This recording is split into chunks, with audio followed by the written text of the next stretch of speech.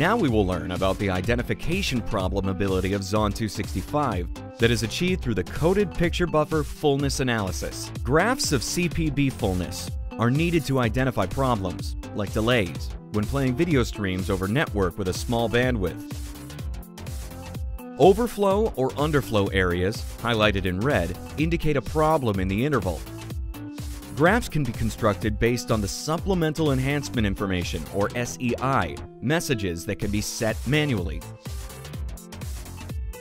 The SEI NAL units can be found in the Bitstream tab. The second type of graph is based manually entered parameters. There are buffer size, bitrate value, frame rate, and initial delay.